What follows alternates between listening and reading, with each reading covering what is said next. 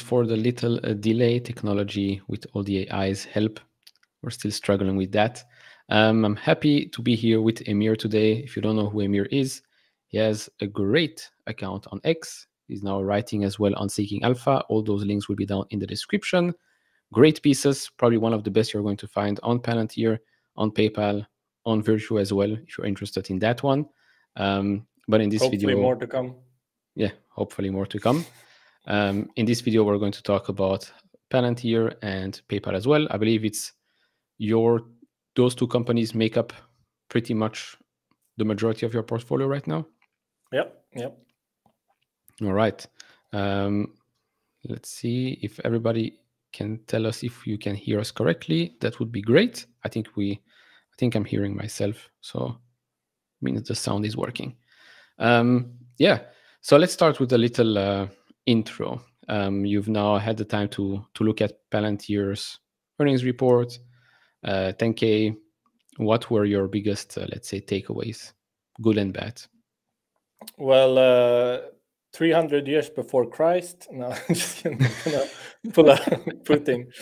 You know, when it comes to Palantir's current earnings, the actual results or the financial performance for the past quarter isn't really that important to me. It's all about gaining insight into what the future may hold. I mean, we all have these grand ideas of what Palantir can accomplish in the future. Mm-hmm. So it's more that I focus on trying to gain insight and hints into what the future may hold. And uh, in regards to Palantir's Q4 and year as a whole, we can clearly see some uh, trends in the right direction in terms of what AIP will bring uh, to the company. Um, prior to Q4, we didn't really have any good ideas of what that might may be. I mean, Karp routinely said we have no pricing strategy. We're only yep. striving to gain market share. And as an investor and um, trying to project what that might mean, you're like, what? Hmm. so uh, of course, one of the main goals was to fix their sales cycle. I mean, they had huge issues dating back probably 20 years since yeah. they launched. I mean, they didn't really have a satisfactory go to market. Uh, we saw them struggling to gain customers, um, to gain market share. And I think they have a lever now uh, of how they can grow. And not only grow i mean the efficiency of a boot camp is i mean it's unprecedented. I mean i had to revise a lot of assumptions in my models in regards to just margins because running a boot camp for 10 potential customers over a 1 to 3 day period like across the globe running multiple ones i mean it's so efficient. Different industry as well yeah and cash wise i mean it's insane. And also palantir's main issue was always like well if we just got our product into the hands of customers they would see the value but they weren't getting the product into customers hands. I mean these boot camps um, routinely reported on linkedin of attendees. They're like mind blown like oh my god we accomplished so much in one to three days. And you can see this i mean I don't track it uh, as much, but there are a lot of passionate Palantir fans that post like every single detail that reaches the internet.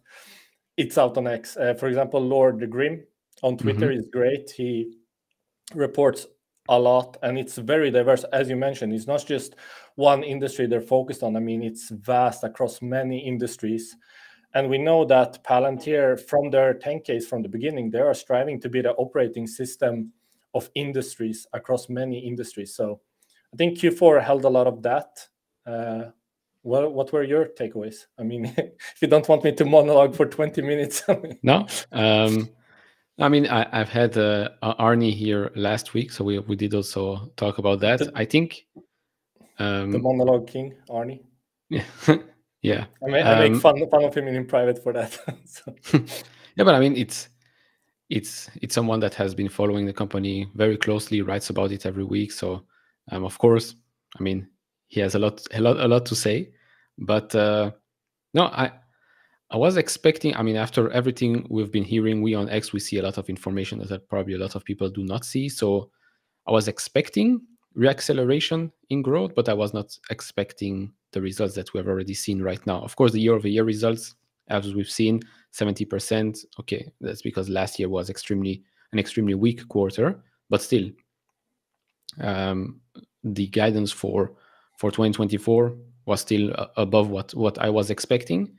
Um, so yeah, good good reacceleration. Now the question is how how much how much further can this continue? Are we going to see an Nvidia type of of growth cycle right now, where every single quarter is going to be quite incredible quarter over quarter growth and, and year over year?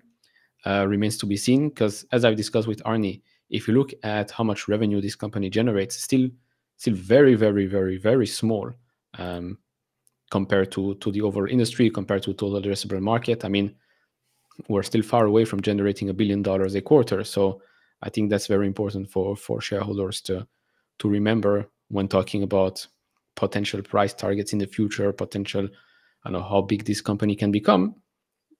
Let's let's first reach a billion a quarter, and then uh, let's see uh, what happens next. Yeah, I mean that's the main thing I mentioned in the beginning. It's not so much the financial implications of like Q4, Q3 of 2023. I don't think we've seen an acceleration in revenue growth at all. Uh, actually, I think the increase is in customer acquisition. As you know, um, the higher cu customer count you grow, the more difficult it will be to actually grow percentage wise. And they've yep. re accelerated for real as of Q4 in 2023. Mm-hmm. And that's when actually AIP starts to kick in. But if you look, if you break out the revenue, I mean, there's no revenue impact. It's all in line from what I would expect without AIP. So as you mentioned, are we gonna see like an NVIDIA type acceleration? I really think that, and I don't think it's here yet. I think uh, Karp isn't lying when he says that there isn't no real pricing strategy. I mean, he mentions that he's talking to everyone that can offer up 1 million for the product mm-hmm. and they're bu- booking them to AIPs. But um, the revenue recognition isn't like you sign the contract and you pay now. It's not. It's not like you check out at a website use, using PayPal. I mean, yep. So I, I don't think we're seeing the impact yet. I think we're going to see a massive acceleration. I'm expecting that, and uh, that's why I get so confused when they mention in the call, like, yeah, we grew U.S. commercial revenue 70% year over year. Uh, Q4 of 2022 was negative. I mean, they lost re- revenue compared to Q3 in 2022, so it was a very weak year. And then uh, you accredit that to AIP and you credit that to uh, the boot camps, and I'm not seeing that at all. I don't think it's uh, bootcamp or AIP. I, I just think it's in line with what I would be expecting of Palantir gaining like recognition and growing organically without um, leveraging bootcamp. So I think we're in to see some massive acceleration in revenue recognition, and I don't think it's here yet. But the actual increases we are seeing are in customer acquisition. That's the really impressive part as of Q4. Like we're actually accelerating for real. Yeah, no, I agree. I think um, as well. I've talked about Arny with that. I think we're going to see the impact of of these acquisitions in some time. Um, like you said, it's not a PayPal checkout where you pay and and we, we see the results directly. Um, but even so, I mean, last quarter the deals that were closed of at least 100, uh, one million dollars were at 103, uh, 37 at least five million, and 21 at least 10 million. Um, it's nice to see. It's nice to see, but yeah, I do still think we're we're still at the start of, of something pretty big, in my opinion. Yeah, yeah, and that shows up in the uh, performance obligations, which grew mm-hmm. like 380% year over yep. year, like something crazy. So that's revenue to be recognized. But also remember that Palantir's core strategy historically has been to uh, be at a loss to acquire a customer and then over time scale them into more solutions, have them spend yep. more. So not only are we leveraging customer acquisition growth with bootcamps and AIP, I think once these, I mean, they, they mentioned the deal spread. I think those are going to grow uh, as time moves on. they don't present it anymore, but we used to have um, we used to have uh, what were they called? Uh, the sometimes I hate that uh, English isn't my native language. Hmm. They had the cohort slides, cohort Ah, okay. slides Yeah, yeah, yeah. in the pr- presentations, and you could see like I think Karp mentioned like in the uh, yearly earnings call, like you see the Phoenix rise, and then they presented the cohort slides, and you could see like how year over year the previous year cohort is like growing massively as time Yeah. moves on. So yeah, I, th- I think um, we're in for some interesting times moving forwards, and it's just now starting to actually happen. I mean, we had expectations of this happening. I mean, people are throwing out like Palantir to one trillion, whatever, but no one can tell you like how will it happen. Uh, I think one trillion might be a ways off still, but we're certainly starting to see like the ladder. Like we're we're starting to see how they will start to accomplish that.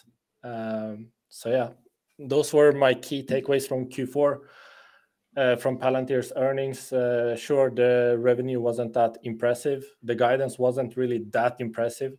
Uh, but I think they're sandbagging re- revenue for the fiscal year. Uh, I think it's going to be something uh, approximately close to 30%, uh, Mhm. perhaps 35% of revenue growth for 2024. Uh, yeah, I think it's going to be really impressive. Yeah, I agree. I think, I mean, again, we're just at the start of the year. Last year, second second half of the year, what did they do? 500 boot camps or something like that.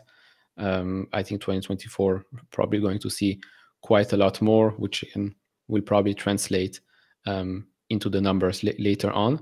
Did you see anything that was like, hmm, worrying? Not worrying, but maybe like a small thing that could have been better, or something that you would like to to see improve in the next coming quarters?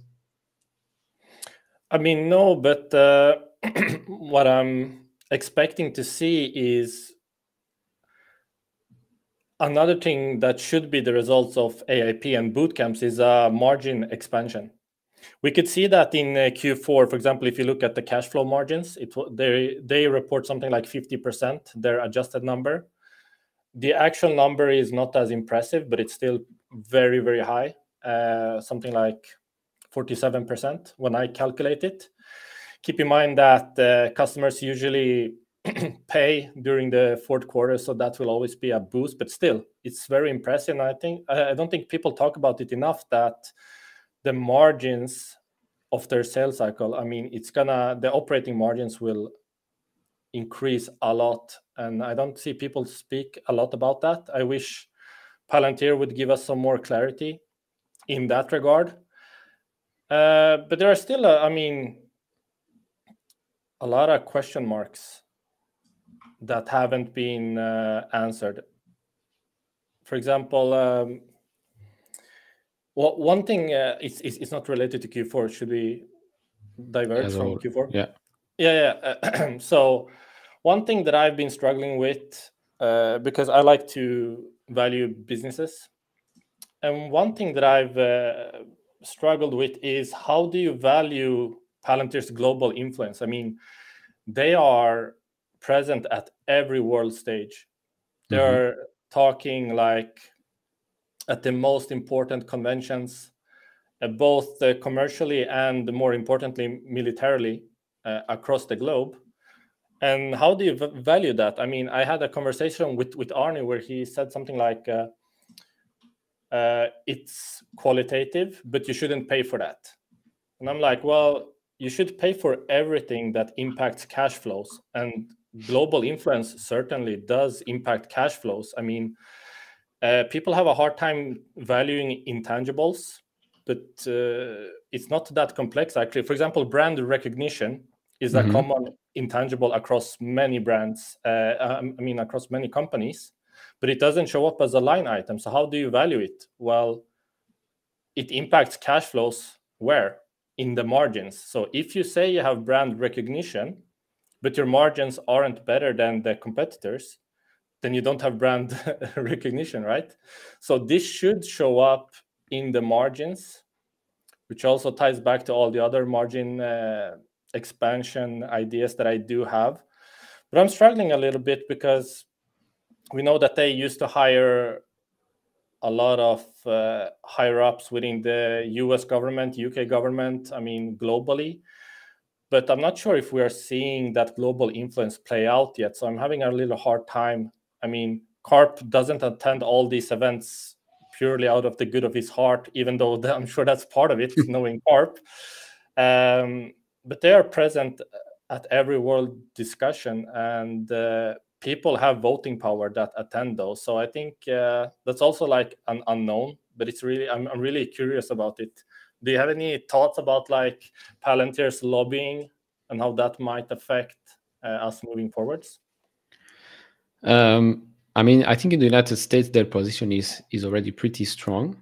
Maybe they like to play in the background and, and do things in the background. I mean, they've been doing this for 20 years, so I guess I guess they know people that know people, or they know the people directly um, which is probably why government side is, is pretty key for them. With regards to global operations, yeah, in Europe, I mean, we've been hearing that it's it's the weaker part, um, but I do think, especially right now with everything that's happening, I do think that, the, I mean, if you hear Karp speak uh, abroad, I do think he's trying to make his point heard a bit more than than before. Whether or not yeah. that will work, remains to be seen. But uh, yeah, in the United States, I don't think that maybe maybe they can do a bit more because I mean the budget in the United States it's pretty it's pretty immense, and I mean they've been talking about that. Not just him, but uh, Palmer Luckey as well, and other players have been talking about the fact that they just need to spend way more on, on software. Um, so yeah, but, but, I mean, but isn't it interesting that we we hear this from Karp at every event? He's like uh, the US is ahead of the rest of the world. They're really slow mm-hmm. to adapt. But if you had to guess uh, the previous three quarters, let, or let, us say 2023 as a whole, do you think uh, Palantir's US segment has grown or shrunk? I the mean, government? They, no, no, uh, total revenue. Total? So I mean, government, he's complaining that only the US is spending, and mm-hmm. commercially, mm-hmm. he says that they're moving personnel out of Europe, for example, because companies aren't adapting. So I mean, it's, it should impact both. Yep. But the reality is that the US segment has actually shrunk.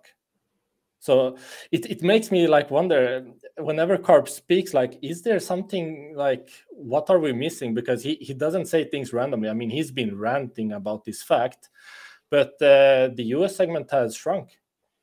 I mean, I'm really surprised. I mean, of course, commercially they are focusing in the US, mm-hmm. but still the the commentary applies to both. And yeah. uh, they started the year at let's see, uh, 64% was US, uh, and by Q4 it was only 60%. So I mean, the rest of the world is doing something. So I mean, um, interesting thought experiment. I don't have any con- conclusions, but I mean, I, I just track like every KPI, and sometimes I really struggle to make sense of things in regards to Palantir, which also makes it like such an interesting company to follow because there are so many dynamics. Uh, um, yeah, I mean, it is an election year, so I guess that plays a small part in in decision making when it comes to contracts and stuff like that. So maybe that's one reason second might be maybe Karp. I mean, like we said before, things play out when we will see it in the numbers. It probably already happened way before for Palantir, so maybe that's that's why he's projecting yeah. such such confidence. And because he's projecting a lot of confidence recently, way more than let's say a, a year and a half ago or so. Yeah. Um, he's way more comfortable speaking right now. So yeah, I think that's one reason. But yeah, there are still some question marks. Like I said, I mean, it's just one great quarter that we just had, it, things might change in the next quarter. Uh, if suddenly it's a, it's a down quarter, I don't know if it, that will happen, but we never know. But yeah, uh, just when you flip the coin, one bad quarter doesn't change the whole thesis. One great quarter doesn't change the whole thesis. Yeah, yeah. Uh, suddenly as well, but uh, yeah, yeah, it's, it's, an interesting. It, it's all about gaining insight and hints about what the future may hold. I mean, mm-hmm. we all know Palantir is nowhere near mature here. So it's all about trying to understand the business and the company and where it's going. Um, I'm, I'm really curious about your take on the age old question. I mean, I haven't heard this in a while now, but this used to be on everyone's mind for a while, especially when Palantir was in the dumps. Should mm. Palantir spin off commercial from the government segment? Uh, and if they should, which would you rather own?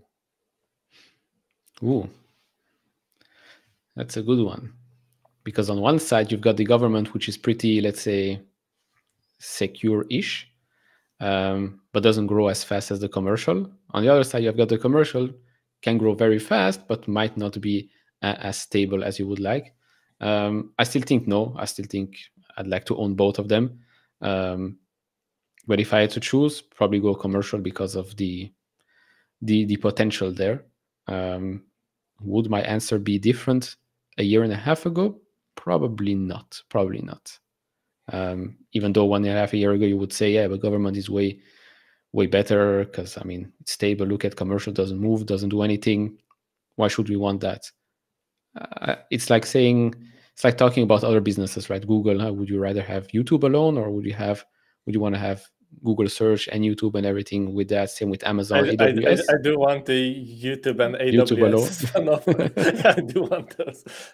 But yeah, no, actually, uh, I, I, wouldn't mind AWS. I wouldn't mind AWS. Yeah, it's an interesting question that I just thought about randomly today after watching some ping pong videos. And don't don't ask me why. Pongfinity? uh, uh, no, uh, some ping pong videos. You know, table yeah. tennis. No, no, I know ping pong. Uh, big channel on YouTube. Pongfinity.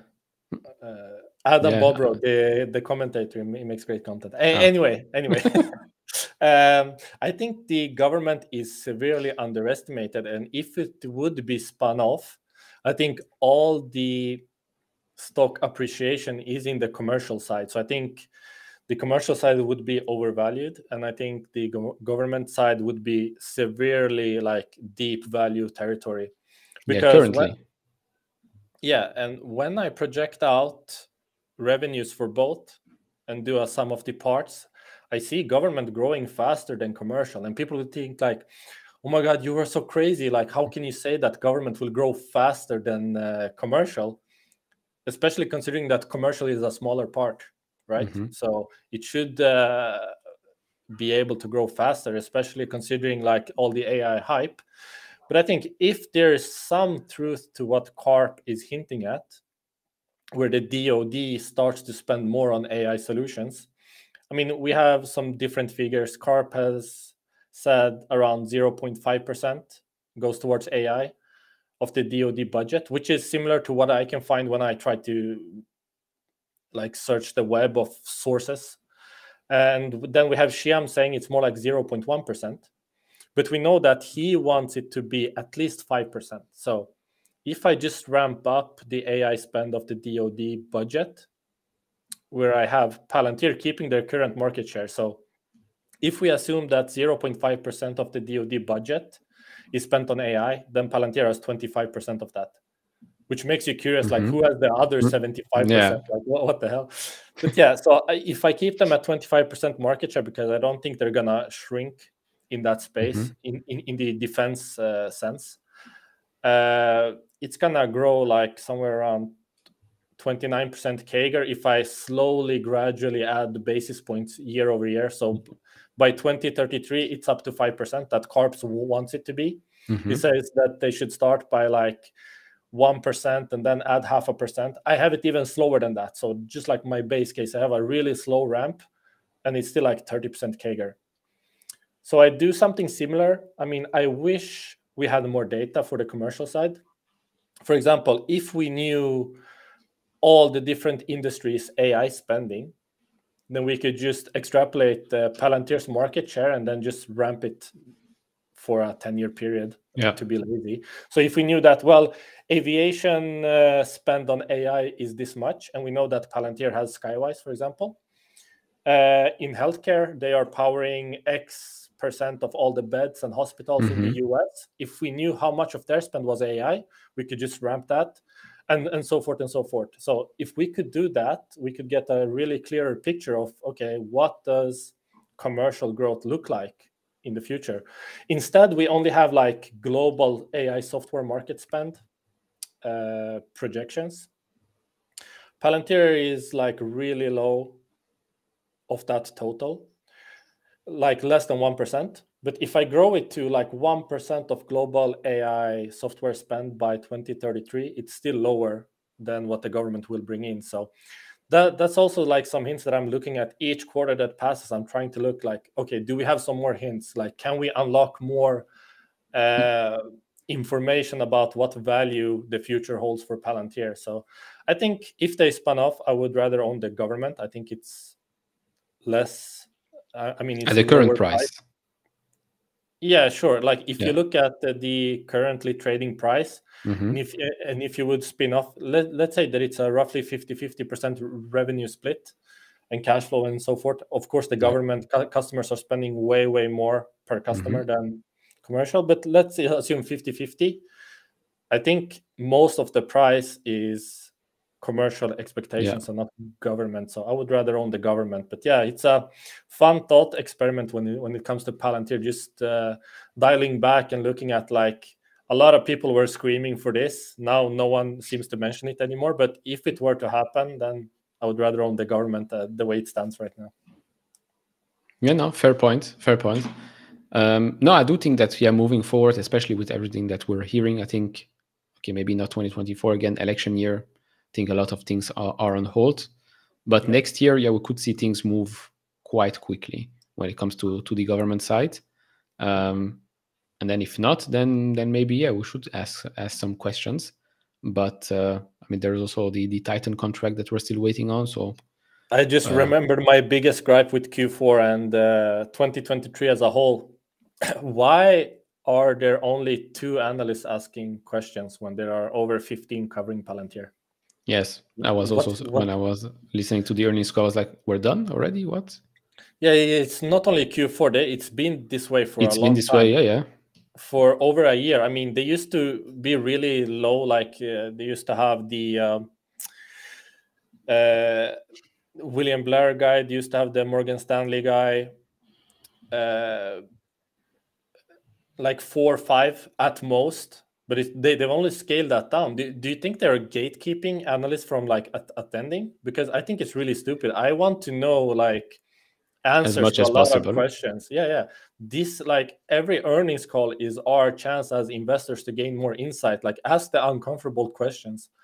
Like there's no one to do that. They only have uh, Dan Ives. Dan Ives and Mariana yeah. Yeah Mariana is respectable. She has good questions. She has deep understanding. She can ask the right questions. Dan Ives is just a fanboy. I, I think he's. I, I don't have a lot of. of res- I don't have a lot of respect for Dan Ives. Yeah, especially when he called like uh, C3AI the LeBron of AI. The LeBron, yeah. I mean, he's uh, he's doing his job, which is gain attention and gain clients for his fund. But as an analyst, I have really low respect for him fun that he talks about Palantir often. That's great. I, I think he has some understanding of what they do.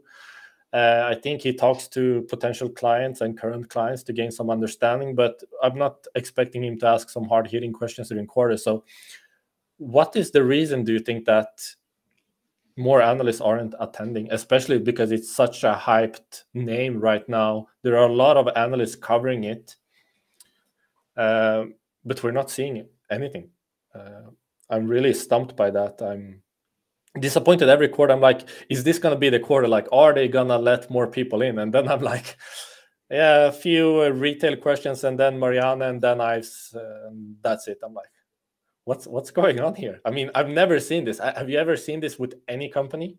No, that's the thing. I don't. My question is, is that even allowed to not let analysts in the earnings call? I don't, I don't know. Maybe the analysts I don't know either. Don't. I don't know either if it's uh, I don't know because I, I would love to have more analysts. The more analysts, the better. People underestimate, even if you don't like what they're saying. At least they're giving you some some information that maybe you didn't find, so you can work with that. Um, but yeah, I don't know. I, I found it very very interesting that they only had two analysts. Maybe analysts don't want to speak to Alex Karp because they know he's gonna scream or bang the table or say something. I don't know.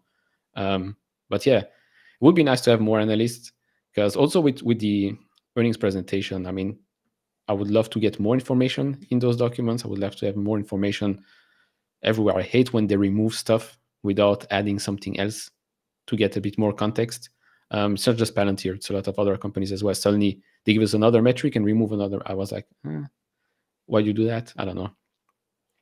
Um, but yeah, I don't know. It's it's strange. I don't know how that works with regards to analysts and earnings calls.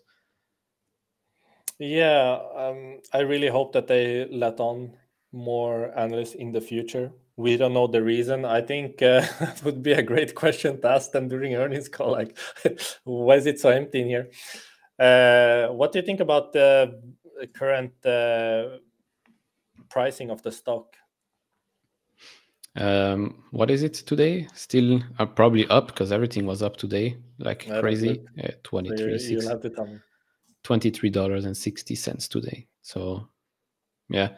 Um, I mean, it's nice. it's nice to see it up. Um, am I adding right now? I've not added um, since after the earnings call. Went up quite a lot, very fast. Waiting for a pullback because the market itself as a whole. I mean, the whole AI thing has pulled everything up quite fast. So I'm currently waiting to see if there are some some red days out there um, to give us. Yeah, you know, more. I was. Um, I have when Palantir was around seven bucks, six bucks. I had 100% of my portfolio in Palantir mm-hmm. because I saw that something is broken here.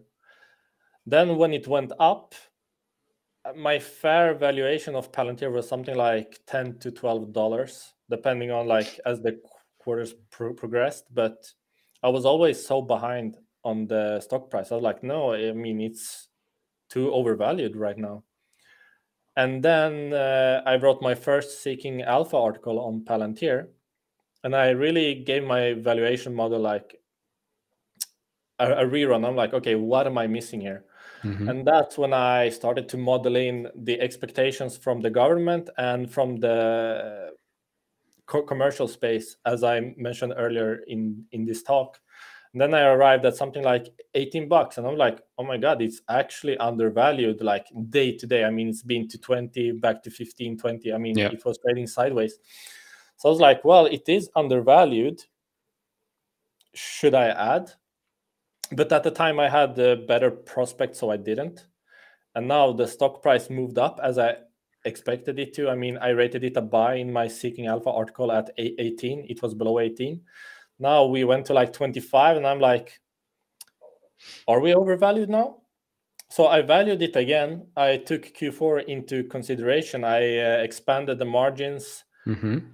I uh, like alter the model according to my new expectations, especially con- considering the like sales efficiency of AIP bootcamps Yeah.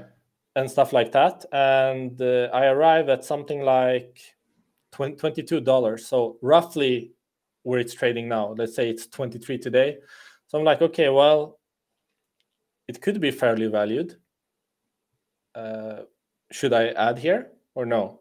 And I'm like, it's a really difficult question because, as, as, as, on one hand, you want to be part of the hype, right? You're like, Mhm. well, stocks are going to the moon. Or should you like just fall back, like, no, I'm gonna be disciplined. This is how I invest. I look at intrinsic value. I get a quote, and that's it. I don't follow charts every day. But am I missing out? And that's like really difficult as an investor. For now, I'm not buying. I'm. I think it's fairly valued here. I would need to have it drop below intrinsic value to be interested. But I mean, it's a difficult question. I think a lot of people are scared to enter into companies and making mistakes like, well, it's already ra- ran up. Like, I'm going to wait for a pullback that never comes. Like, when Palantir went to 15, 16, and my fair value was 12, I'm like, well, no, I'm going to be disciplined here. But there's always a risk that you're missing something. And I was missing something because when I revalued it, my intrinsic value was 18. So I don't know. I think it's a interesting question to ask yourself as an im- investor. Like, are you disciplined enough? Uh, do you understand what you're buying at what price? Do you know what what what you're getting for the price you're paying and stuff like that? Uh, I think it's fairly valued here, but yeah, I'm I'm also holding back. I'm uh, in the same boat as you currently, but yeah, still interesting. Yeah. I mean, because we it, it's a company that in three months time things can change right three months time you Exactly. model it again Yeah, intrinsic exactly. value suddenly 10 20% higher. We don't know. Or lower. Yeah Again, you know we don't know. uh, it's a very interesting do you know about aswath uh, damodaran? He's a professor at is, N- yeah. N- nyu he's called like the dean of valuation goes on cnbc mm-hmm. great uh, youtube channel. He puts out every lecture. He values companies. He puts it out publicly like he discusses. He told he, he said something very interesting in regards to Tesla. I think. Uh, no Nvidia. Nvidia. Nvidia, yeah. So you Yeah. probably know what I'm think, thinking about. Yes. Uh, the quote that you have to, in your valuation, you have to account for, in this case, Nvidia being at the top of the next big thing. Like you expect them to be there, and then you have to credit some value to that. We know that Palantir is like one of the best software companies in the world. We have seen them adapt to like AIP bootcamps wasn't even a thing by Q1, like Mhm. not, nothing. And then there was this huge AI hype, and then they're on, on top of it immediately. So you could uh, give uh, Palantir some value purely to the fact that you know that they're going to be on top of that trend. You know that they're Yep. going to capture market share. You know that they're going to be aware of what's happening in their industries, which is, I mean, really vast. They cover something like, I don't know the latest figure, but I mean, we're talking like 50 in industries or more. I mean, something insane. So, yeah, really interesting that we are probably missing something and you should add some va- value just based on that. So, I think that's a really, really interesting quote from Aswath that he uh, gives an NVIDIA that uh, not benefit of, of the doubt, but like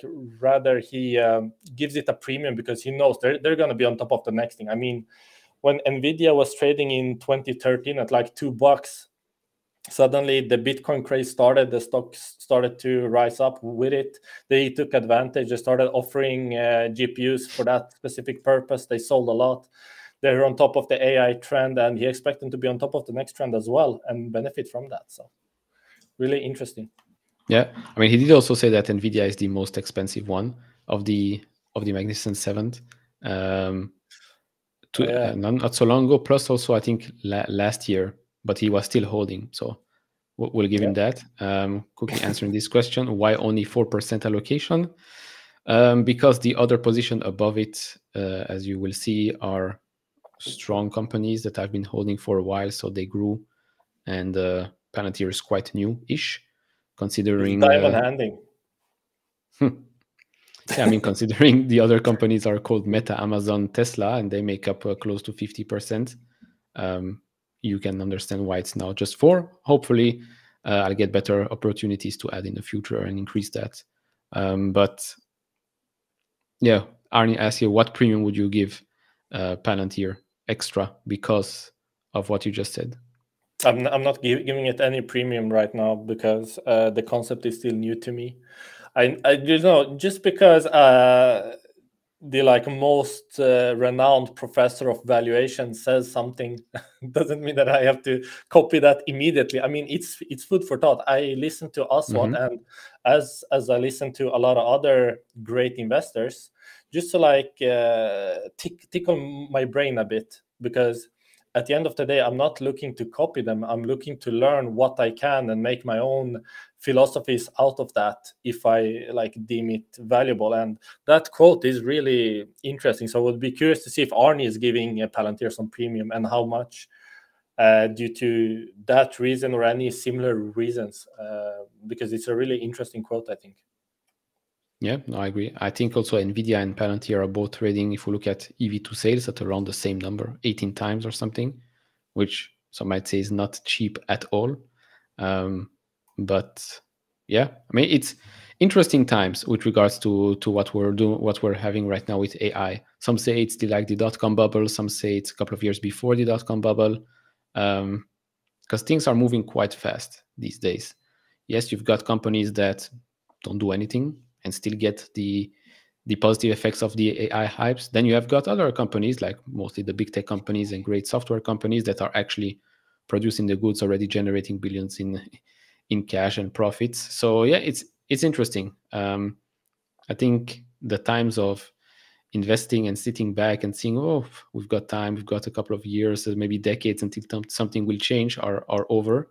I mean, the internet already accelerated things, but now I think we're in an, we're in a period where where things can change quite quite fast. Not everything, but but a lot of things. Um, we've got an answer here by Arny. I just care of not paying stupid premiums rather than applying premiums. It's also a sound philosophy to have. Yeah. but you know, uh, you you mentioned something interesting, like they're trading at this price to sales, and it's not uh, cheap at all. I mean, it's interesting because I never look at any pricing metric. I mean, I only look at intrinsic value. So I hear people say like, well, this stock is over or undervalued, and then they will mention a pricing metric like price to sales or PE or any other pricing me- metric mm-hmm. as a re- reference. Uh, but that's not related to value. I mean, it's related to current market price. It says nothing about value. So when you say it's overvalued at this PE, I mean, you're not re- referencing value, you're referencing price. Um, yes. And the market price pricing can vary a lot. Today, a 15 PE might be like, oh, it's cheap for this revenue growth. And tomorrow, that PE might be expensive.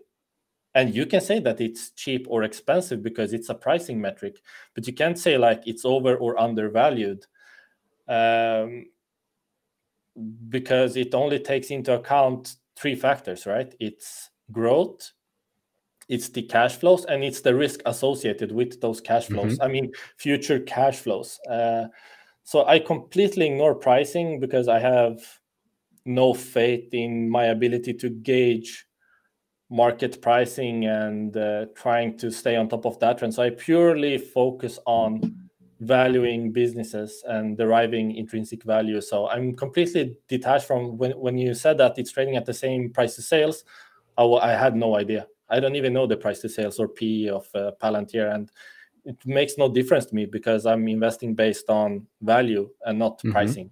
So, I think uh, as you mentioned, we are in a much faster moving uh, public market, and much is because of people look at pricing and make uh, decisions based on what pricing metrics are acceptable or unacceptable today, and they move quickly so it's really detached from my own approach, which is more slow and methodical. I mean, it takes a lot of time to value a business. So I understand that not many people care to do it. I mean, many professionals simply focus on pricing metrics as well because you don't have time. I mean, let's say you have a portfolio of 50 to 60 stocks.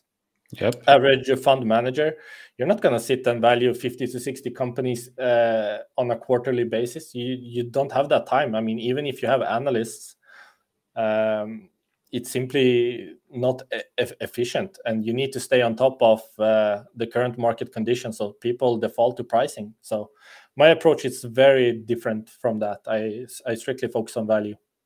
Yeah. No fair point. I mean it's probably also one of the reasons why last time you did uh, you got $12 then you switched it up you got 18 um, which yeah. again we is, make is... mistakes and we find out things about businesses but it's it's important to like know what you're paying and what you're getting for that. When, mm-hmm. i pay um, up to $12 i know what i'm expecting to get for that uh, $12 per share.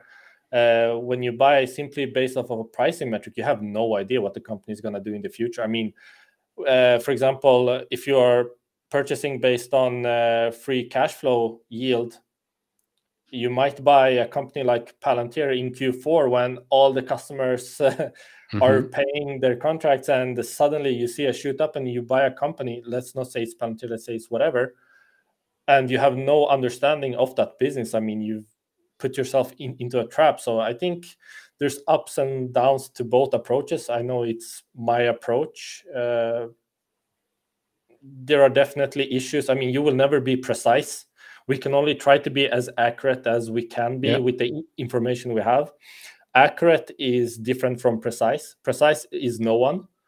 No one will ever get mm-hmm. like revenue growth correctly for five to 10 years in the future or more, or cash flows or any other thing. Like, no one will get that precisely when they make a valuation but it doesn't mean that we shouldn't try to be as accurate as we can to try to un- understand where a company is going. So i'm not ashamed that i missed something valuing it. I mean it will happen. Uh, it's uh, hopefully not with paypal. We, we, can get into that next if you want yeah. if you feel finished with palantir. Um, yeah no for sure. If someone has questions about Palantir, let us know in the chat. If not, we're going to jump into the the next one, which is probably still, I think you would say, undervalued on both sides, uh, value and pricing. Um, but yeah. yeah. PayPal. What did you make of of the last uh, quarter and maybe even earnings call? Because earnings call, I mean, I don't know. Yeah, yeah, it was. Uh, it. it was underwhelming uh, but I'm, I'm not really sure what they were going for. But in general, when, when it comes to Palantir, I've been, I was like, I don't know if it's around the summer or Q2 of 2023. That's when I started to get hyped about PayPal. I'm like, oh my God, I'm seeing something extraordinary here. I've never came across this in public markets before. Something is very wrong here and I'm gonna take advantage. And then I wrote down my thesis. It was on X at the time. Mm-hmm. I've since then published a Seeking Alpha article summarizing many of my ideas. Uh, and people are so uh, upset at me. Uh, As if it was like, their money. I mean, uh, people are like, "Oh my God, you are so wrong. The stock isn't moving." I'm like, "Where was I wrong so far?" Uh, you know, investors often act as if they are fund managers having clients breathing down their necks. They need to see price movement immediately. Uh, and as a fund manager, your time horizon is as short as your least patient client.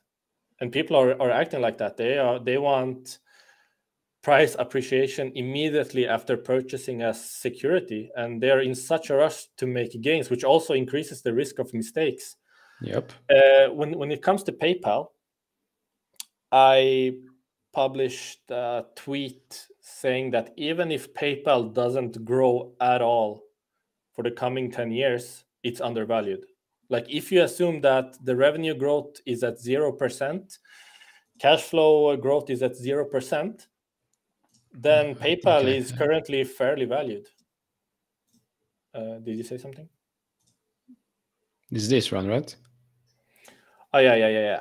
So even if you assume zero growth, it's roughly fairly valued. Like if PayPal does nothing, like it will lose market share, it will like do nothing for 10 years, it's still like roughly fairly valued, which means that there's not much room for me to be wrong here. I mean, as long as they find any type of growth, like you can mention risk like uh, Apple Pay is eating their lunch, uh, whatever. I mean, I've heard it all. Yeah. Uh, I'm still likely to be right here, and will make gains on this stock. But I saw this with with uh, Palantir as well. When Palantir was like trading uh, above intrinsic value, people were like, "Oh my God, it's just trading sideways. Uh, why doesn't it moon?" And people don't understand. Like, I don't get these people because you want price to appreciate uh, only if you you don't know what you own so you're scared. So you need that like uh, recognition of like oh i made a good decision because the price went, went up. That's yeah, but that's only only because you want to sell. That's the thing. You want yeah, it to go up because you want to get out. So that's the other point. If you want to exit you want the stock price to go up. But if you are investing like what's the problem with the stock price being under fair value allowing you to purchase more of it like i never saw that. Like i mentioned like in a palantir discord which which is fantastic in terms of re- research but i was like man i would be so happy if palantir was back at seven. Like yep. it was it, it, was at seven for this many months. Why didn't you buy i was like i did buy it. Was 100% of my portfolio. What, what do you mean? Like no no it, it needs to go up now. And it was a huge thing on twitter as well. Like some large figures in the palantir community were like really lashing out and, and upset i'm like like i don't see the issue. Like you you're only desperate if you don't know what you have so you need that recognition or you're looking to exit. If you're actually looking to invest you shouldn't mind the price being below fair value because it allows you to gain larger ownership. And i feel the same with paypal now. People are so like it's a trash company they reported earnings the stock price didn't go up. I'm like why should i be scared uh, because the question i asked myself after q4 after q3 after q2 did my thesis change? No. They're doing what I'm expecting them to do, which which is not overnight become this huge growth company that's gonna blow everyone out of the water. I, uh, the next question is: Has intrinsic va- value changed? Meaning the output of my valuation? No, mm-hmm. it's still the same, even assuming the new information that we now have as of Q4. So why should I be scared or why am I wrong? So when when people write me, oh my god, you were so wrong on PayPal, I'm like, okay, can you show me where I, where I was wrong? And they're only like, because the price hasn't gone. Yeah, yeah. The stock price did, didn't go up. You were wrong. I'm like, that's like it doesn't really faze me at all. Uh, and to be fair, there are a lot of risks associated with PayPal. Uh, some are overblown, some are less talked about. Uh, for example, uh, they are losing overall market share of digital payments. Mm-hmm. Still, they're roughly a quarter of global digital payments is PayPal. My valuation model assumes them to lose market share. Like, I'm not assuming them to grow market share or stay, I'm assuming they will lose market share. And uh, I still see like a 100% upside from here. I mean, I mean, like, I really account for a lot of execution risk. Uh, I account for loss of market share. I account for new products not being rolled out quickly enough to have impact on revenues and margins. I mean, we know that take rate is a major issue with PayPal. Mm-hmm. I, I, already assume all of that in my valuation model. So I'm like, okay, show me where, where I was wrong. And people are like, no idea. Actually, I, I think I'm very pessimistic in my valuation of PayPal. I think there's significant more upside than I'm already seeing, which, which is roughly somewhere like 100% uh, increase. I don't have a new valuation model to present. I'm still working on it. Uh, I'm still working with the Q4 results, but we know that they have a moat, in my opinion. And people don't understand this moat, and they don't think that PayPal has a moat. So I'm I'm, I'm gonna put this question to you: Do you think that PayPal has a moat, and what's the moat? Because I think this is really interesting, and uh, will uh, if you understand this aspect of PayPal, I think you're gonna uncover a lot of hidden details that you might have overlooked. Yeah. So to me, the strength for PayPal and arguably the moat there is probably the brand, the trust, security that it offers, and arguably the, the data it has from its merchants, from its users. Um, when you are as big as PayPal, I think that should give that should give investors already some signs of okay, this isn't really a business you can replicate overnight, despite other huge players in the market growing faster. Fine, but overall, in the grand scheme of things, when you look at the whole PayPal ecosystem, which should become better over time, I hope so. Um, I think that's one of the biggest, one of their biggest uh, strategic advantages. Of course, over time, our thesis can be completely wrong. Execution fails, and the investment doesn't make any sense anymore. Fine, but that's where paying the right price, I would say, comes in because now at what I don't know, 50 something dollars probably. If it's over 60, I'll be surprised. But the, the risk reward here favors the, the reward at this time. Yeah, I agree. I think uh, the most part is the data. I think they mentioned something like, I, I don't have the exact number, but roughly like 30% or so of all issued credit cards worldwide is registered in their data vault and uh, we, we, we can speak on how they will le- leverage that but i think a major as you mentioned they have the whole recognition customers trust them and that's huge as well, because um, I don't know if you track any super investors. Do you?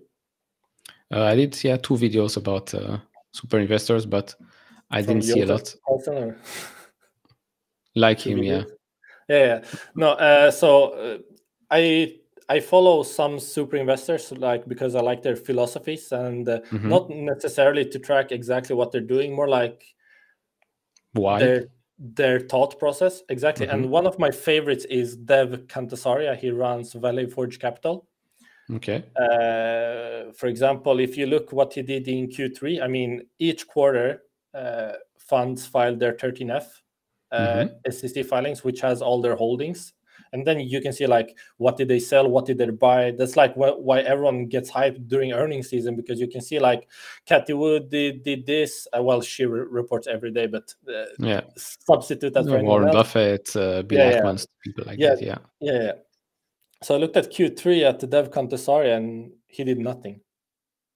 Like no change to his whole portfolio. He did absolutely nothing. And i'm like okay i like this guy already Q4 comes around, he like did like uh, if Q3 was zero, like no change to anything, Q, Q4 was very similar. It had like 0.1% change due to some strange region, but like he did nothing. And he has an interesting quote about uh, mo- monopolies, which I think applies to PayPal, which is uh, there are different types of monopolies. There are the weak mo- monopolies that are subject to be like disrupted. Is this one right? Yeah, uh, as you can see, there's no Q3 there. Mm-hmm. Very interesting. He did yeah. nothing, and when you see a fund manager do that, you know, like, okay, this guy is uh, really skilled. But yeah, and anyway, about the, the, monopolies, he said there's the type that can be easily disrupted, and then you have the organic, like natural monopolies, where customers want to use you, like they don't feel that they are subjecting themselves to you, like, well, we have no choice, like Microsoft, for example. Not a lot of users of Microsoft are really happy about their product suite, but they're tied into that ecosystem. They're like, well, I have to use Microsoft and that's where their mm-hmm. monopoly co- comes in. And then you have um, natural uh, organic monopolies, like let's take uh, Moody's for example. They issue credit ratings and they charge you to uh, for each uh, rating they rating. Yeah, yeah. You could offer that service for free and companies have tried like they offer a credit rating for free just to gain market share and people will still use moody's because because it's moody's. Yeah and the base like the trust the recognition of a moody's rating is much higher but also the credit you can issue against the rating mm-hmm. is like several uh, basis points higher than uh, a less trusted one. So that's like a natural organic monopoly where you want to use them and I've talked to a lot of business owners in regards to PayPal. I mean, we know that conversion rates are, uh, to my understanding, the best in the world when it comes to online checkout. Like, we know that they have more uptime than any other like wide scale solution. We know that uh, the latency is lower than all the competitors. So there's like some incentive for you to use them and also there's where, where the moat comes in they have the whole their, their vast uh, data vault where they store like basically every information that's gdpr compliant they have the data mm-hmm. on each customer which uh, allows them to issue like all these new features like we heard about in this uh, what, what first look event yeah change the, first the world. event that's going to change the world shock yeah, the world shock the world sorry. Yeah yeah, yeah exactly. They can do that because they have all this customer data where as a customer you can like get targeted by companies with stuff that actually interests you because they know your spending habits and it's vastly more valuable to merchants because they can do that targeting for example in terms of ads. But mm-hmm. it's, it's not only ads they offer so much capabilities just tied to this. For example uh, in their checkout process let's say that you have uh, two cards that you buy things with. You you own a business you have a business card and then you have a personal card where you buy personal stuff. So usually when you buy computers let's say they know that you use your business card when you purchase this type mm-hmm. of equipment because it's likely that that's what you're purchasing it for. So it will default to your business card. But when you buy this other thing it's going to be on your personal card. So they make all those assumptions about you because they know so much about you making like each checkout experience as frictionless as possible.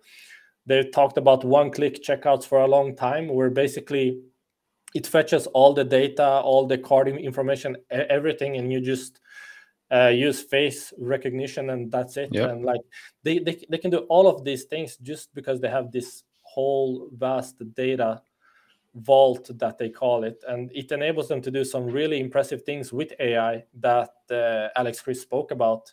And i think um, as they roll out the problem is they have a lot of legacy systems out there uh, most people associate PayPal with just a checkout. Like when I check out, I can use PayPal as an option, or I can mm-hmm. log into my PayPal account and pay for something like from some marketplace. I can transfer money or something like that. But a large volume of money goes through their checkout system uh, infrastructure.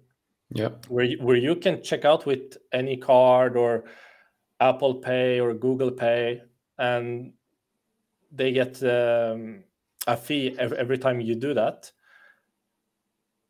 I lost my train of thought. It's getting late here. Uh, what was I saying?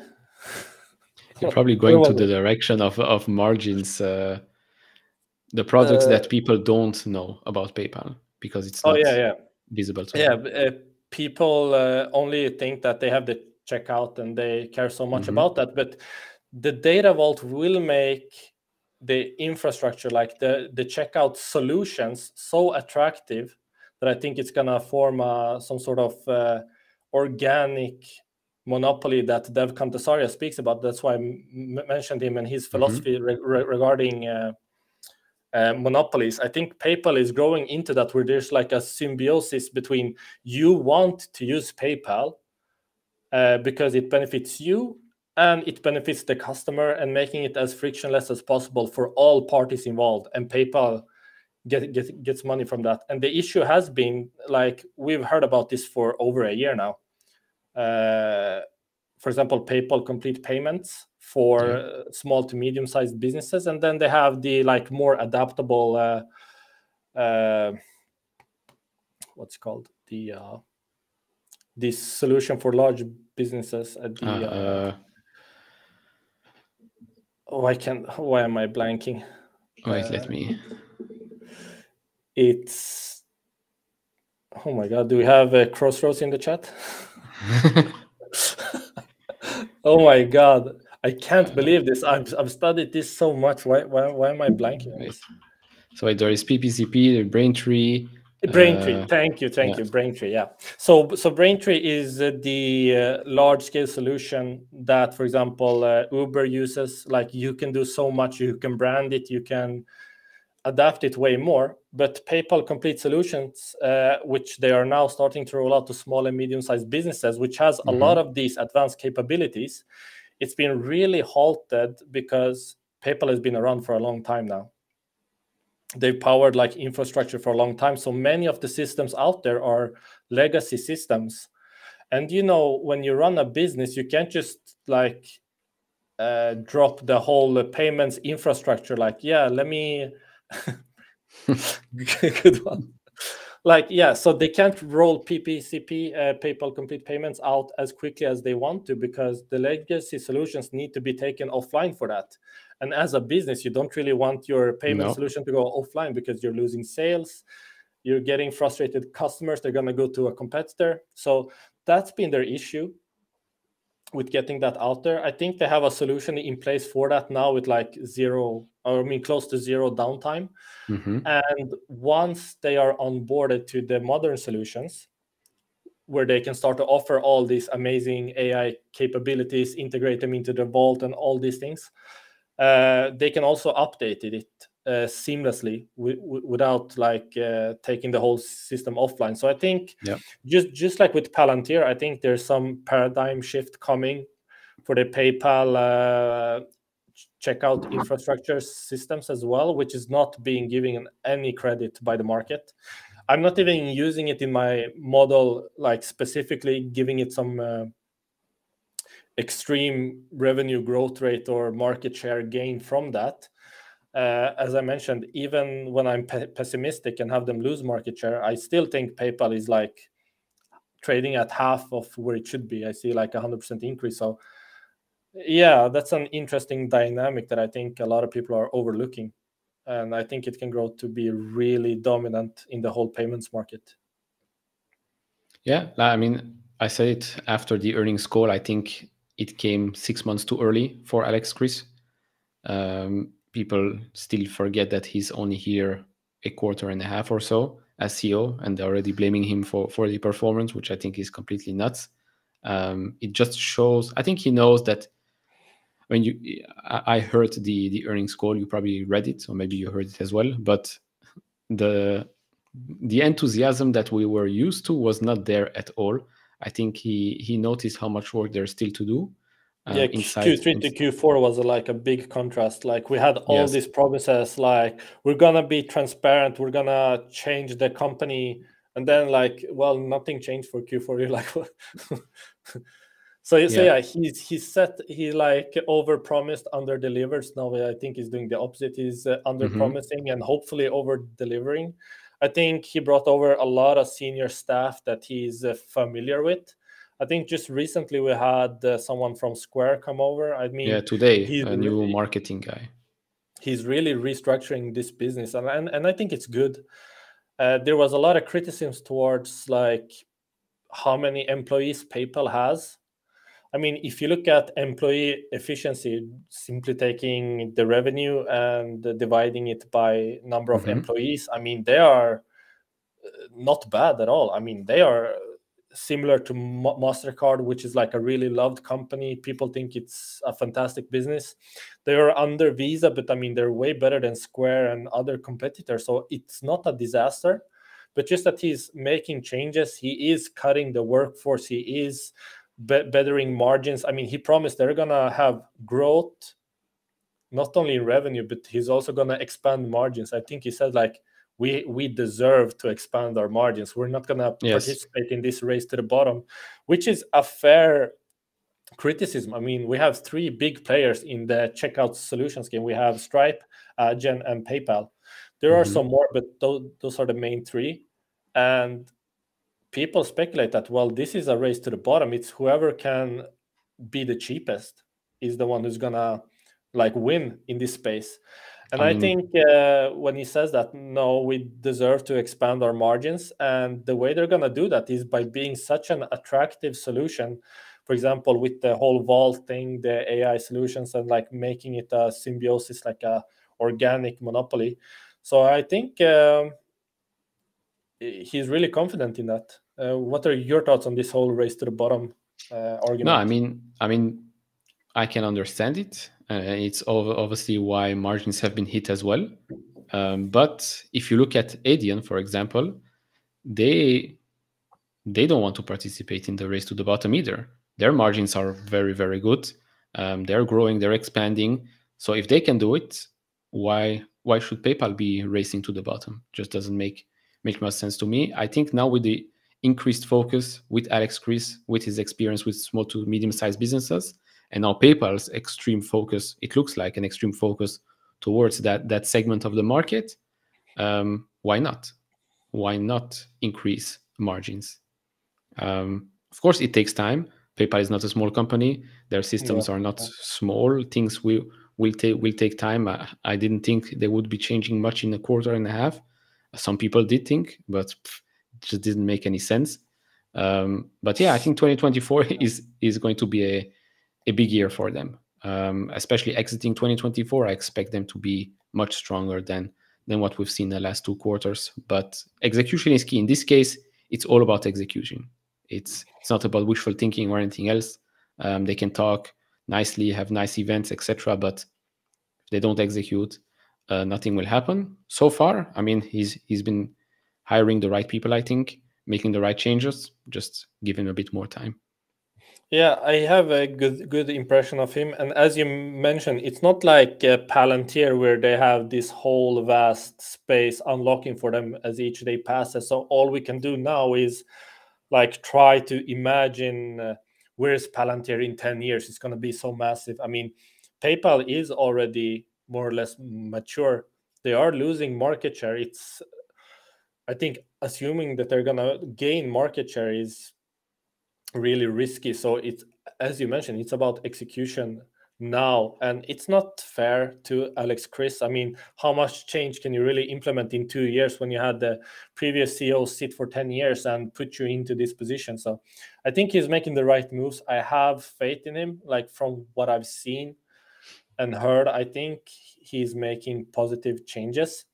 But I mean, my investment thesis isn't relying on him to turn around this whole business and make it into like some juggernaut as i mentioned i'm very pessimistic in my assumptions yeah. and i still think that paypal is a huge buy like i've never i very rarely see a company of that size be able to like stay stagnant for 10 years and it's still a buy. I mean it's insane. I, I don't know if in my lifetime i will ever come across a similar situation. So i'm confident in having a large position in paypal here.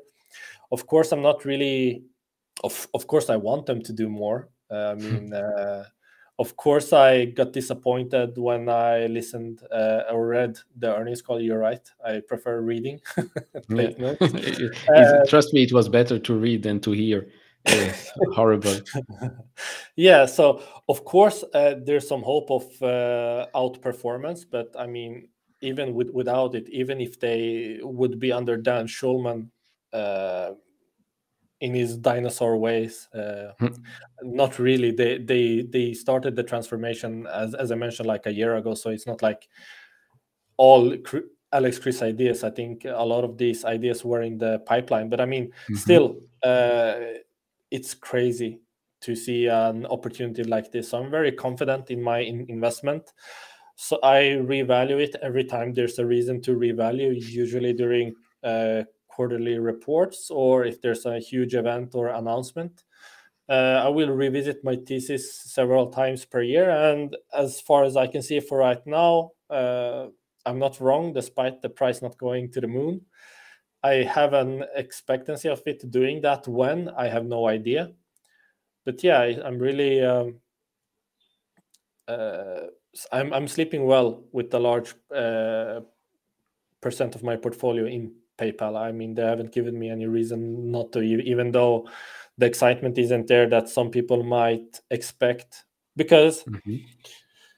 my PayPal article on Seeking Alpha had like such immense. I mean, I was like top two on the top article list.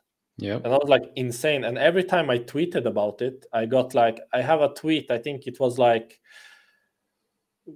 like close to 1 million impressions like um, over a thousand likes like a lot of engagement for paypal. So i think a lot of people's expectations were misplaced uh, and they mi- misunderstand the company. Because if you read discussions like on x it's all about this narrow mindset as we talked about. People think like you check out with paypal and you send money. Like who who uses this shit?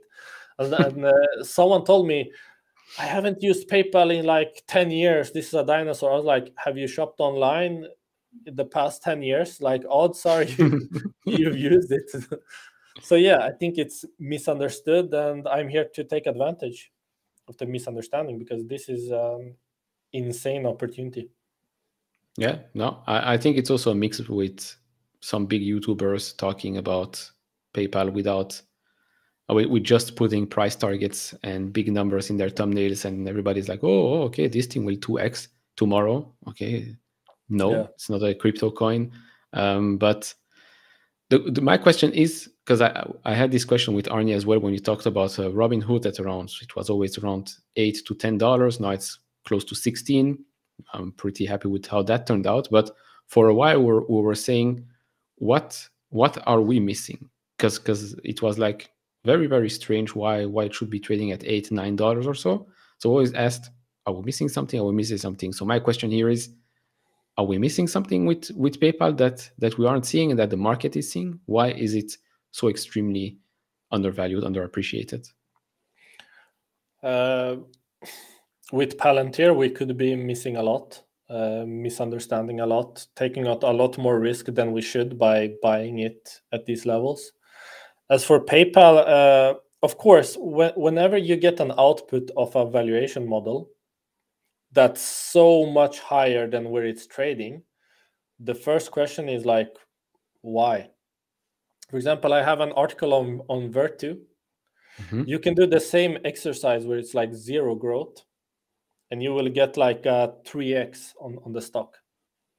Hmm. So plus a dividend yeah dividend they bought back like 20% of the company. Like they're doing all these things but you're, you're like okay why is my valuation like three times where it's trading? Like something is wrong here. And it's always good to ask yourself that question. In the case of virtu projecting revenue for virtu is like trying to time the market because they are a market maker. They yep market make around 25% of all US equities. So when you purchase on Robinhood, it's going through Virtu and they're getting money from that. When there's a lot of trading or a lot of volatility, they make a lot of money. And when there isn't, they don't make money. So like when you try quarter. to like uh, make a DCF model where you look at like uh, five or ten years out, it's like you are pre- uh, timing to try time the market for 10 years in a row. You're like what the fuck? So yeah. predicting the weather. Uh, yeah exactly. So there are some difficulties depending on which company you're looking at. For paypal i really I, i've not come across any reason for me missing something. I, th- I think it's purely sentiment. I think we're seeing a lot of companies trade outside of their value range purely on sentiment. I mean, we talked about the AI hype. Mm-hmm. We talked about um, like Bitcoin miners going up 100% uh, in one day and then declining 50 the next day and then going up 300. I mean, it's a lot of sentiment right now. And I think throughout 2023 just fintech was out of fashion is my take yeah. I, I, don't i don't track markets like really closely but I think they simply didn't have any major catalyst to break out of that. I think uh, they didn't re- report anything crazy that would take them out of the like bad cycle. So I think it's just sentiment, and sometimes sentiment can create these strange uh, market opportunities or strange market risks uh, that's not uh, like based in reality and I think PayPal is probably one of those cases where the, the sentiment is was just bad, and there hasn't been a clear reason for why it shouldn't be that bad. So it's trading here like sideways. Uh, I don't think it's rooted in like missing something in the valuation of the company. Yeah, that's my I mean, take. Yeah, no, because um, we look like for example last week Square Block reported. Um, of course, different type of company, different growth growth cycle, growth numbers as well. So they just better guidance. They initiated better guidance than expected. Stock went up 15%. Um, people were like, "Oh, why couldn't Alex Chriss do this?" It's uh, different, different companies, different player um, growth-wise. If you looked at Block, they're, they're growing faster than than than PayPal because look at the size, look at the market they're playing. It's it's it's a bit of a different story. So yeah, the narrative the narrative can change quite quickly. Suddenly there's I mean, a quarter. Um yeah, I think uh, I'm not an expert on Square. I didn't study it deeply, but when I look, uh, the direct comparison we have here is Venmo against Cash App, right? Mm-hmm. Which is uh, Square's main product. I think Venmo is growing faster than Cash App if you look at the um, the payment volumes. Square is growing like 80 or 85% of Square is purely Bitcoin. Uh, if I remember correctly from reading their financials. Revenue wise. Yeah, yeah, exactly. Yeah. So I think uh, like yeah, gross profit is is only two percent, two three percent uh, Bitcoin.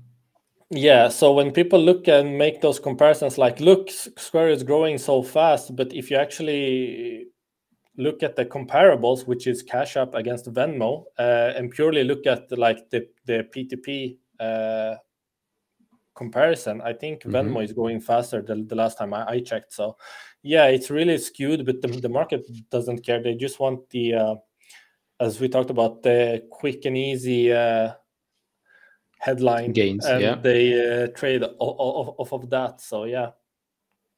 Yeah, yeah I mean, Arny puts, is correct there. Yeah. Yeah. Um, and again, it can change very, very quickly, as we've seen with plenty of companies. Uh, I remember Meta also. People say Meta is dead when it was at $90, 80 something. Meta is dead. Then suddenly back to a free cash flow machine. Um, and the stock is up four or five times or something like that. Um, so yeah, I, I don't know when that will happen with PayPal, but it, in my opinion, it will happen. Just a matter of, of when, not not if. Um, yeah. Do you do you have any thoughts on I don't know if you cover Baba? I don't know why out of topic. There's a question here about Baba, but I I don't know if you're following that company. Uh, no, uh, I don't know how I should properly uh, properly value Chinese companies because they have a completely different risk profile. Uh, like when you purchase stock in Baba, like you don't actually own it. They are subject to the whims of the CCCP, not for uh, CCP, not uh, not PayPal, uh, Soviet. yeah, not Soviet, or but the Soviet China. Union. Yeah, uh, there are a, a, lot of risks associated with that. Uh, my understanding is that Baba is probably trading cheap but I don't uh, have a take on it, and I stay away from Chinese stocks because I have an issue valuing in it uh, because a core um, input in a valuation model is risk.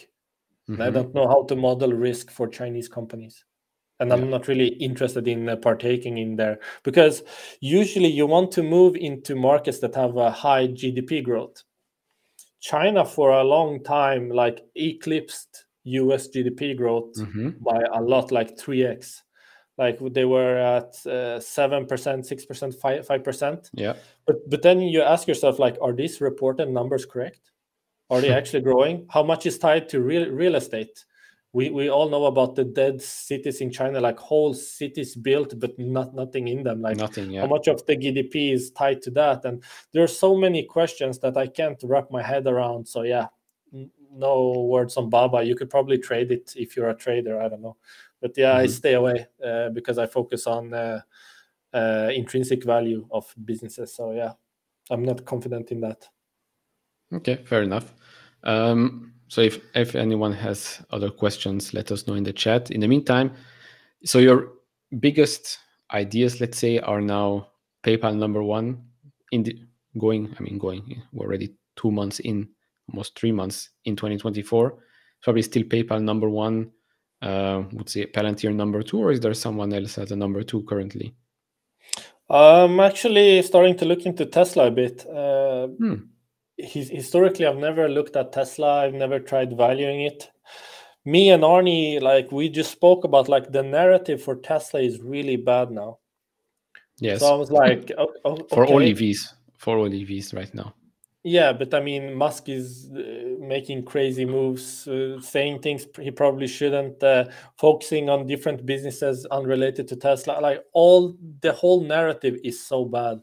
Mm-hmm. So I ask, uh, I discuss it with, with Arny, and I ask him, uh, yeah, we should look into Tesla. Can you share with me like uh, what you've done so far? He's like, I know nothing. I'm like, me neither. so we had the, like a workshop. We sat down to like like three four hours. Just started to map out like, okay, what are the core business parts of Tesla that that we need to un- understand and. Uh, what's the market missing like in, in terms of the future i mean we spoke about the, the charging network the bot the implications of fsd like we did uh, some uh, research and i'm beginning to start my evaluation process and my understanding of tesla. I'm still uh, i i know tesla headline wise i know all the different parts of their business, but I can't model out what they're going to do in five to 10 years. Like, for example, they just greenlit building out Me- Mexico. What, what's that going to mean for, for their capex the coming two years? Like, there's a lot of pieces of the puzzle that I need to understand before I can, like, uh, uh, talk about valuation of Tesla or be confident in taking a huge position. Uh, for now, I did something that I shouldn't do. I was undisciplined hmm. and I bought Tesla shares at like 180, like a small position. Mm-hmm. I usually never touch a single share unless I'm like, here's my valuation. It's trading below and uh, I'm, I'm, expecting I'm some upside. Yeah. yeah, yeah. So yeah, I just did something on Im- impulse. Uh, my wife is a for- forex trader, I, actually. Yeah. Uh, I don't know. Most people probably don't know but I hate charts. I never look at charts. Hmm. Uh, I get a quote after I value a business, and that's that. And I usually don't even look uh, until it's uh, time to value it again, or I see it in my Twitter feed. Usually these days you can see like extreme movements, like being echoed by everyone. But yeah, my my wife is a forex trader. She has outperformed me on Palantir. I think she has shares in the fives if you can believe that. Uh, she's up like some crazy amount on Palantir. She's up like 3x on AMD. Uh, so she enters positions uh, completely unrelated to my pr- process. And we have arguments at home regarding uh, her charting mm-hmm. and my hate for charts. But uh, she entered Tesla and it was in combination with me getting interest for it. So I just started a small position, even though I know I shouldn't do that before I'm fully done. But yeah, uh, moving forwards, I hope I can share some insights into Tesla, sim- similar to what I've been sharing on Palantir, PayPal, Virtu. Uh, there are more companies I track. I usually focus a lot on uh, mafia companies. Mm-hmm me me and Arny call them mafia companies. This type of like really like you have no choice but to use these companies. FICO type of companies. FICO, Moody's, uh, S&P Global, uh, BlackRock, uh, Gartner. Mm-hmm. I mean, there, there, there's a whole list. Uh, the problem with those is that they're always trading expensive. Yeah. So it's like your life goal to just sit and wait like 30 40 years whenever you see a, like a pullback you just buy them and hold forever because they are always trading. Like pull, pull up a chart of fico from the 80s and then look to today. It's just like it, it like never drops. So uh, yeah they're a really interesting category of companies and i want to identify and purchase that that type of company so yeah, I hope to be able to share more on Seeking Alpha uh, and Twitter. So it's actually but, uh, impressive the chart of FICO. It's incredible. Yes, start in the 80s and then just like scroll to to, to the right to present day, like mm-hmm. almost never goes down. So you have you have to buy them opportunistically, and I'm willing to wait my lifetime and buy whenever I can. I mean, even still, since the pandemic lows, 2020, March 2020, it's up 540%. Yeah, they are very impressive, and the market cap isn't really that that crazy either. Uh, and they like these toll booth type of companies are so mm-hmm. impressive to me. Uh, I hate one type of business that I rather never own, and it's everything that's consumer facing uh, companies that rely on consumer behavior, be it like, uh, let's say that you're a brand, one bad headline or a celebrity wearing a different brand can shift like focus from you overnight, and then I mean, your business is in tatters. I don't know that Aber- brand actually. Abercrombie and Fitch. Oh yeah, yeah, you're doing well if you bought that stock, right? I saw you tweet about it. It's in- insane. I mean, well, what do you think about this brand? The Palantir brand, yeah, I, I, heard, I heard about it. yeah, yeah, no, no, but yeah, anything consumer facing, I stay away from uh, because yeah. I'm, I'm, I don't trust co- consumers. But people who r- rather than use customers but abuse them uh, infra- infrastructurally, like PayPal, Uh, I like that type of business or toll booth com- com- companies where you're you're forced to use them, like say a FICO, a Moody's, uh, S&P Global. That type of business is really interesting to me. So uh, I really like to study that type of business, and uh, sometimes I hope to get lucky and buy shares uh, close to fair value. Uh, happens rarely. Yeah. but yeah. Okay. I mean, with with Tesla, I would say good luck with the evaluation of uh, FSD and, and, the bot. It's a lot of assumptions. I mean, with the bot, we have st- still very, very yeah close to nothing with regards to but, information. But, Hopefully, we get this year. Uh, yeah, but remember the the talk we had about Palantir. Like, we will never be precise. We, we we can only try to be as accurate as we can with the information we have. I think, uh, luckily, Tesla is so well covered that any type of data that, that I'm curious about, I can usually find, which is really nice when you're studying a company. I think when I studied Virtu, I found like a university paper on uh, how Virtu guarantees profit every day from the amount of trades they do, because they're also like a, what what are they called? Like hyper traders or uh, no high frequency uh, trade high frequency yeah, yeah yeah. So if they execute more than 100,000 trades per day, they are guaranteed to profit. And there was like this whole like math hmm. calculation, like it was like his final paper. He really wanted to impress with that And I found it like on you, you know when you go and Google something and then you click like eight pages down, you're like, what what is this? so yeah, that that's the process trying to study Virtu When it comes to Tesla, like I really have an easy time finding uh, data points that I'm curious about. Not specifically about Tesla, but also like if I'm curious about a market uh, that they operate in, I can find the mm-hmm. data uh, within that. I, I can see spend. Uh, I can see a lot of competitor data. I can see like I, I can make yeah. a really good analysis. So uh, and when it comes to Tesla, when you put, put out your valuation, or let's say that I write a Seeking Alpha article on te- Tesla, and I say, well, my fair price is 180, let's say. 50% of people are going to hate me and say, I'm crazy.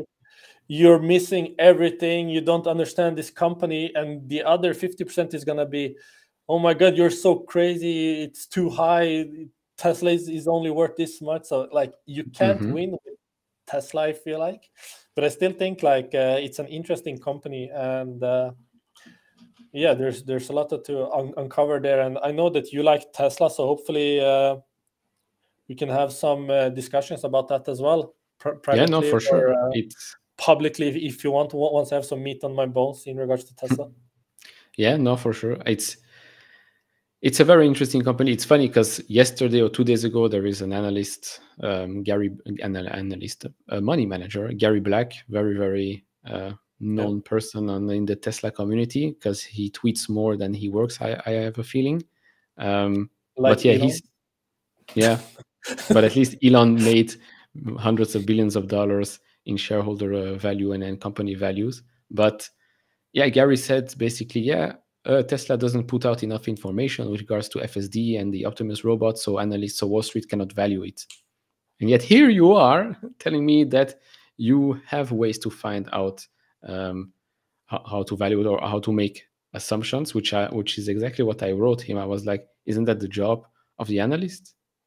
That's their job, not to make yeah, the yeah, but, most uh, accurate have, assumptions. Have you noticed something? Uh, I used to have access to analyst projections for a lot of metrics and you will find something interesting that they all uh, converge into a similar value you don't see anyone like be way out there either a lot above or a lot below they all below. have like similar things so yeah, I think Gary Black is waiting for someone to make some projections, and then everyone to make the same one. Like, yeah, yeah, oh, yeah, this this makes sense. This makes sense. Yeah, uh, uh... Which, which, is an interesting dynamic when it comes to sell side analysts on Wall Street. I I think uh, just changing topic briefly. Do you know about Snowflake, the company? I know. I think they they report earnings this week or next week. oh, oh, do they? Uh, I think yeah. Yeah, uh, it was often a comparison to Palantir. To Palantir, yeah, yeah. So I looked at Snowflake, and at the time I had access to all the analyst projections for Snowflake. And also, Snowflake provides a guidance like targets five years out, like they are ex- expecting uh, to hit this revenue by this year, and then they really Mhm. put out like pro- projections. So they were similar to Wall Street's projections. So they just look at what Snowflake say themselves, adds a bit on top, and that, and that's their own. So I made a DCF va- valuation using like all the Wall Street assumptions. So I don't make anything up myself. I just take it straight from Wall Street, their own uh, projections. And I got a fair value of uh, $55 per share, which is below I- IPO price by more than half. But this Uh, same yeah, the price is at 230 right now. So Yeah.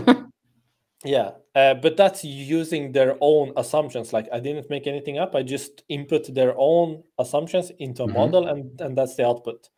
But then you look at their own price targets. There's it's like 180. I'm like, how the fuck? Like you give me your assumptions, and uh, you're like tripling the value. like how does this work? And then I had a talk with with Arny, which is a former analyst, and we came to the conclusion that the difference between Palantir and Snowflake was that Snowflake made an IPO and they sold it to their banking clients for 120 per share, which was the IPO price. How can you turn to the banking clients and say, like, well, we sold you this for 120, but it's actually only worth $50? Like, they will feel scammed. So, of course, they can't just straight up say that. So, they have to tweak like uh, discount rates like to some extreme values or whatever to justify their price targets but uh, that's the difference because palantir did a dpo and really like uh, laughed in wall street's face. If they did an ipo i think the narrative around palantir would be much greater at a much earlier stage uh, than it is now, where they only have like Mariana and Dan Ives uh, talking on the earnings call. So it's an interesting dynamic, and it made me really like ignore sell side analyst price targets completely because it makes no sense most of the times. Their projections are often rooted in like some safe value. They all converge to the same uh, roughly towards the end. And yeah, so I don't really track anything sell side analysts say these days. Um, try to derive my own assumptions. Uh, sometimes I will compare my own numbers to analysts just to see like, am I way off? Are they way off?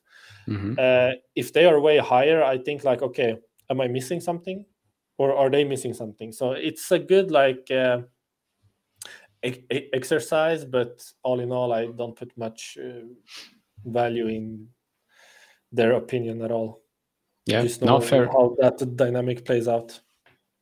Most of the time, it's it's basically price driving sentiment, whether it's on the way up or on the way down.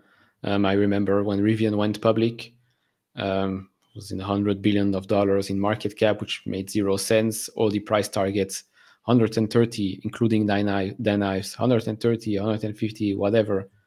And then the stock crashes to to what, 20, 20 something. Now it's at ten dollars, and the price targets are now 30, 20, 50. I was like, uh, wait, the company now is actually a bit better than before, but now your price target is only a tenth of what it was before. Uh, I mean, how does that work out?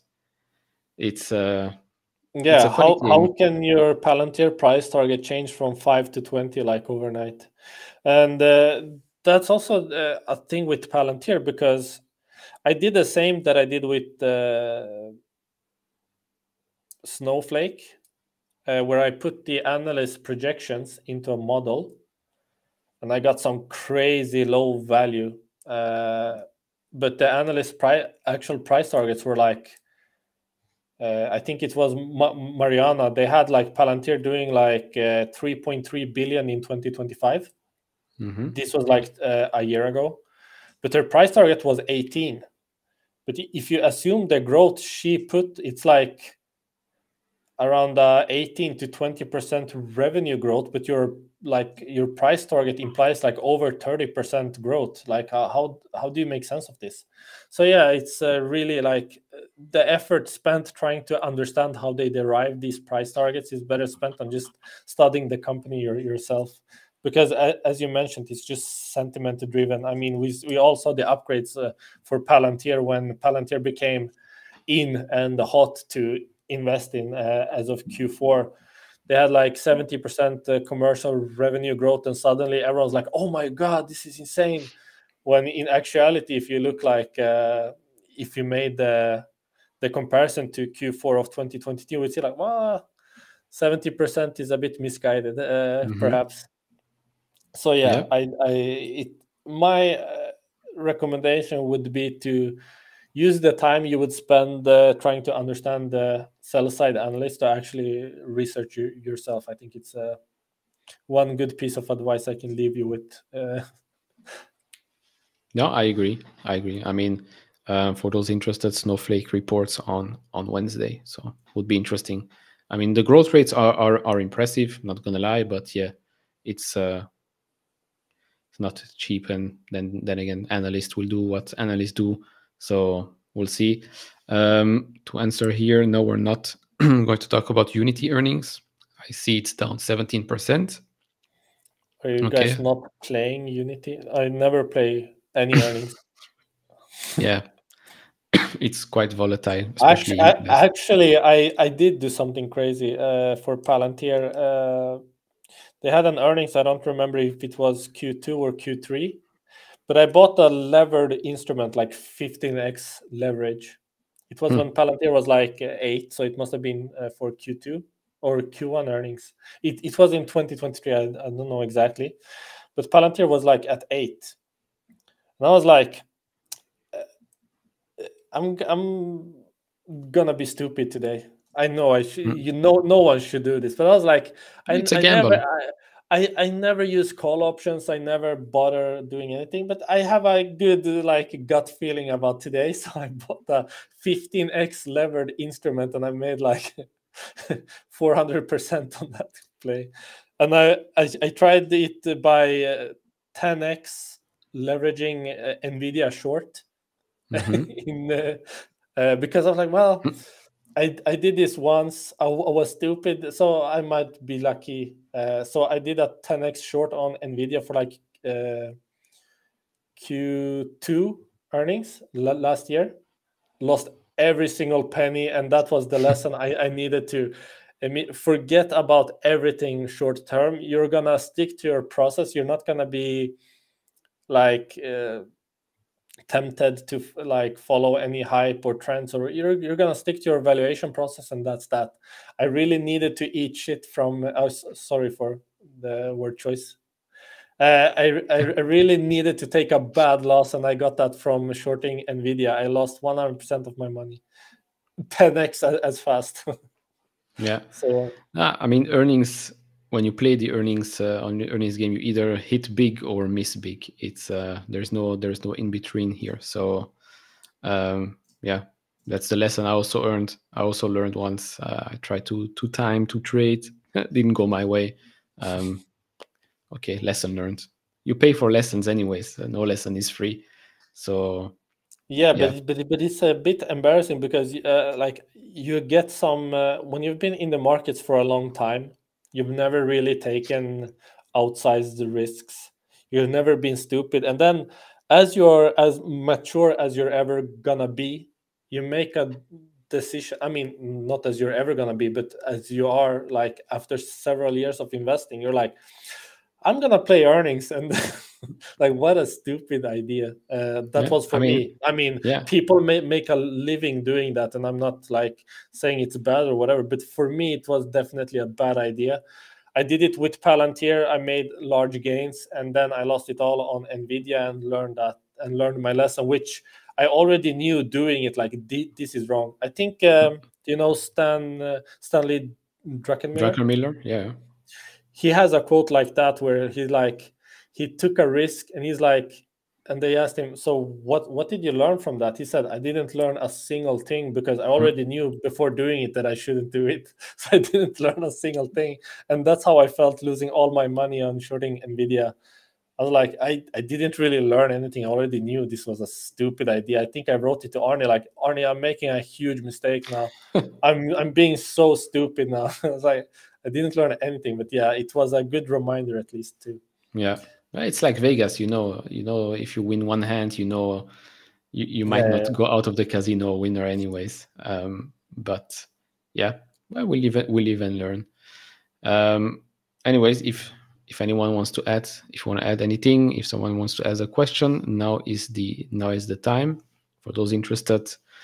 Unity is down 17%, HIMS is up 15%. Uh, might cover that. With regards to new, uh, might do a separate video later on. But with regards to Palantir, um, got a question here with regards to Palantir Titan. What did they they said Q2, no? Q2 announcement. The decision will be made, I think. Um, yeah, I think some people track that really closely. I'm very excited for the Titan contract. I mean, it should go to Palantir. There aren't really anyone else running. I know we have that other uh, Defense Prime vying for it together with. Uh, I forgot the the partnerships, but it really looks like and Anduril and Palantir will win Titan. Mm-hmm. Uh, they've been dropping hints about it like everywhere in their demos, in their YouTube videos. They have like uh, sneak uh, Titan text on some chairs, and like it's it's been a gag for a long time now. Uh, we don't know exactly when it's gonna drop. It's like with the NHS contract. You you knew Palantir would win, but they like dragged it out for years. It feels like Titan has been on the table for years now. Uh, but I do think it's already valued uh, in the stock price. Uh, that doesn't mean that the stock won't appreciate on the news. It could, but from a valuation perspective, I think it's already valued in. I mean, I certainly already valued it in, but yeah, the stock could explode on that. Uh, I, I, I don't know what the stock price does day to day mm. or in terms of pricing, but yeah, valuation wise, I already valued it. Yeah. And purely from, I mean, purely going forward, I think it's a good recognition wise, it's good for Palantir if they win it, um, regardless of what the stock price will do. It's good for, for future contract negotiations and stuff like that. Uh, whatever happens with the stock price, we don't know, can go up, can be a sell the news type of type of thing as well uh, remains to be seen. With regards to curiosity, I think Raytheon was one of the other runners. I forgot who they teamed up with. Uh, was it like C3 AI or something stupid? I think it was.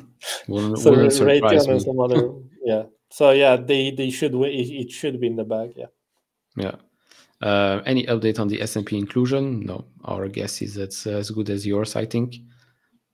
Yeah, I think they have like if it's quarterly or bi-yearly uh, that they make like the board makes the decisions in regards to this. I think some people have spoken about March being one of those dates, and some people are expecting it to happen in March. It's also another thing that will have uh, effect on stock price. I don't know mm-hmm. historically what S&P inclusion does to to stock prices. I'm not really worried about it more than I hope it gives me an opportunity to buy more shares at a undervalued price. But yeah, uh, I think um, the board makes decisions like two or four times per year, and people are expecting them to accept Palantir in March. Yeah, could be. I mean, it's definitely not yeah, the only one that, that, could, that will be included. Or, uh, so yeah, exactly. There are plenty of other companies on the list as well. So yeah, remains to be seen. Uh, but definitely something to to watch out for. Um, yeah. Anyways, thank you all for joining. Emir, thank you for for coming on the channel. Um, we'll definitely have you back whenever you you're ready to talk uh, Tesla. I'm sure it's going to be a very interesting uh, research journey because of everything that they're doing. Um, yeah. may- maybe by the time you're you're done with your article, Ila, and would be like, oh, maybe we should go into this type of industry, and suddenly everything changes. But uh, yes, I think it's a challenge. Yeah. yeah. Right now, I think with the auto energy FSD and robot, you have uh, enough uh, enough to work with. Um, Ro- robot taxis, uh, everything. Yeah.